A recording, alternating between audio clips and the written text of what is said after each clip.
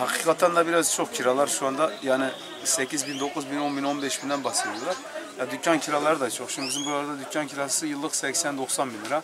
Yani aşırı bir bayağı bir pahalandı bu yıl. Kimisi enflasyona bağlıyor, kimisi hayat pahalılığına bağlıyor. Yani kimisi mal sahiplerinin vicdansızlığına bağlıyor. Herkes bir çeşit bağlıyor.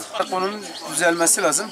Ee, milli kişisel refah seviyesinin yükselmesi lazım ki en azından vatandaşı rahat ödeyebilmesi için.